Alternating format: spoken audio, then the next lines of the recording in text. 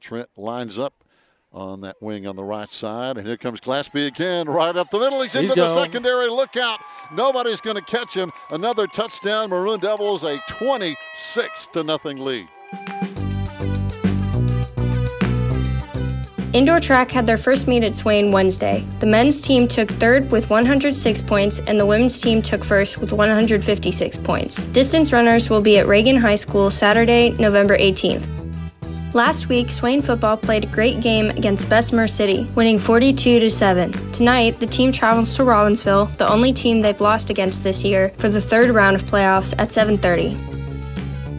And remember, tomorrow, local band Brother will be performing live at the Swain Arts Center from 3 to 5. Tickets are $5 per person, and all proceeds will go to the High School Rock Band Club to purchase instruments and equipment. Wednesday, November 22nd, Swain County High School is hosting a memorial service for Carrie Powell in the gym at 1 o'clock.